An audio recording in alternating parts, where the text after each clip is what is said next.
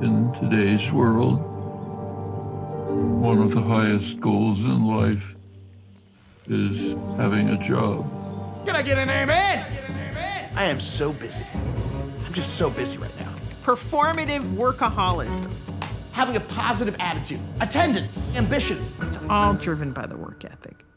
Automation will soon eliminate millions upon millions of jobs. What to do about mass unemployment? Start getting fast, you start getting crazy, right? If you're not needed, how do people then have meaning?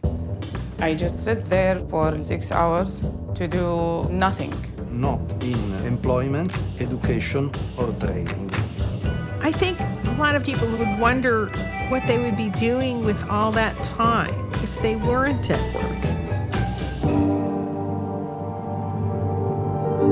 On average, like when you take holiday, h- how long do you take for holiday every year? Six weeks.